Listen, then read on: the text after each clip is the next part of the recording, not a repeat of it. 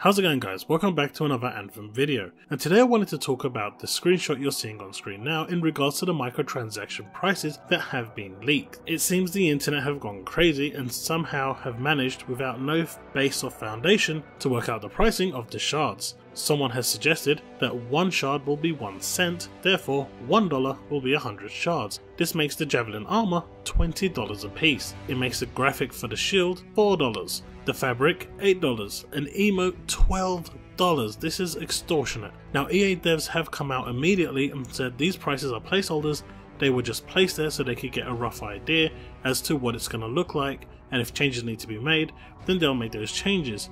They've also reiterated this is why they don't release this sort of information until they're ready to announce something.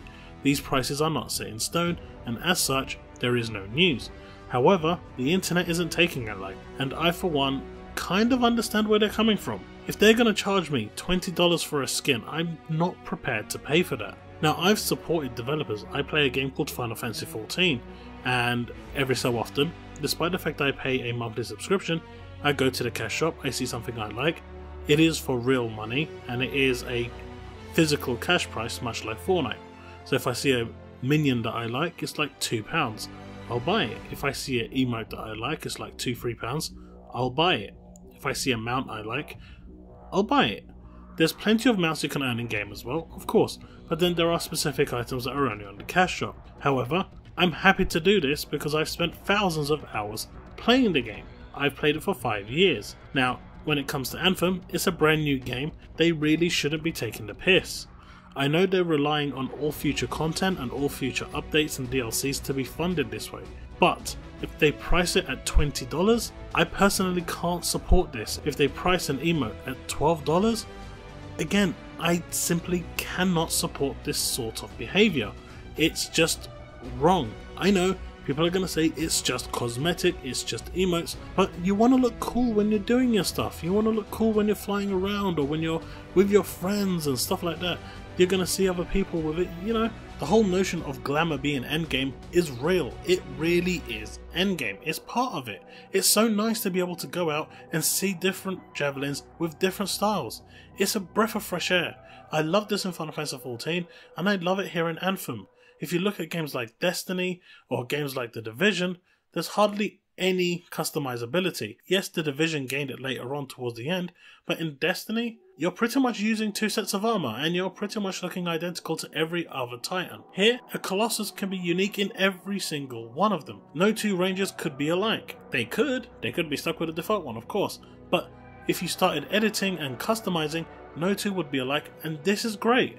This brings personality, it brings character, it makes you get, it allows you to get connected with your Javelin. But at these prices, I can't support this. Now, I do hope the Bioware dev was telling the truth. I do hope that these prices will go down because $20 for a skin is too much. This is Fortnite prices.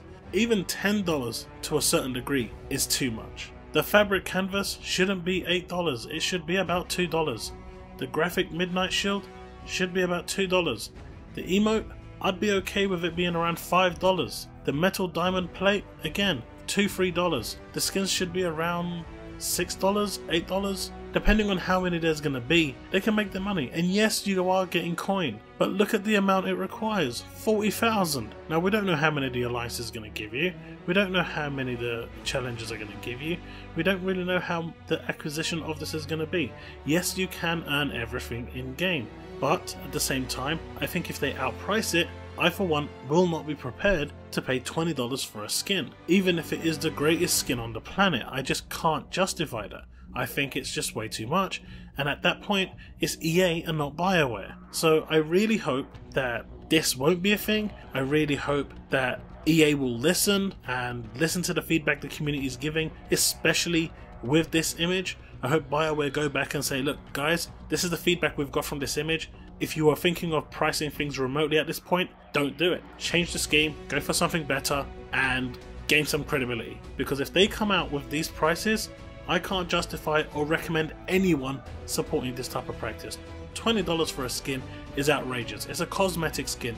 You don't have to buy it, sure, but at the same time, they want you to buy it. It should, at the very max, be half the price they're charging, and even that, to a certain degree, is too much. Considering there's going to be a ton of players, you want to make buying for real money as accessible as possible. If you outprice everything, you're just relying on the whales. And why do you want to do that? So leave a comment below and let me know what you think. I just wanted to get this video out there because I feel really indifferent about it. I'm usually one of the people that don't that doesn't really care for cosmetics. However, when I saw these prices and if those fabricated figures that people have magically come up with popping out of their heads is correct, and it is $1 for 100 shards and 20,000 shards is $20, then I think this is a big problem and we need to nip it in the bud and make sure EA know that this is not acceptable.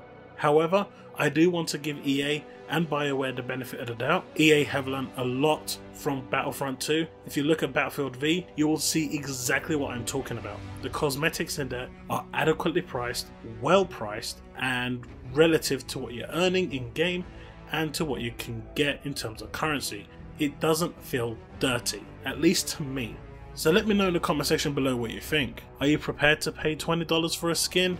Are you prepared to pay $8 for a fabric? $4 for a graphic on a shield? $12 for an emote? I mean, be realistic. What are you prepared to pay? I'd really be interested to see how much people are actually willing to pay. So, I mean, I know some of you are going to say, no, I'm not willing to pay for anything.